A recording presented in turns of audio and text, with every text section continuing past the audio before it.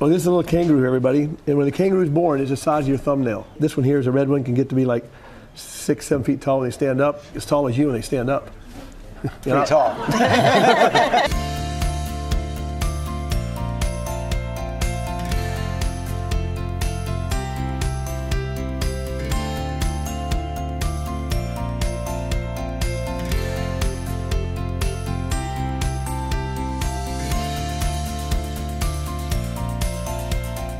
You did notice there is something on the back of your neck. well timed, Jack.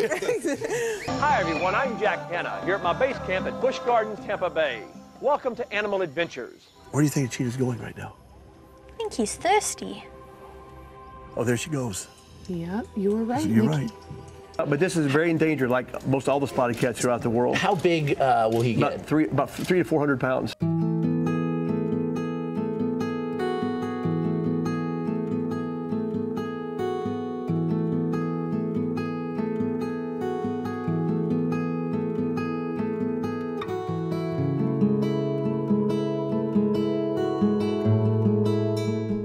Hope you enjoyed seeing the world through the eyes of animals. It's an amazing perspective.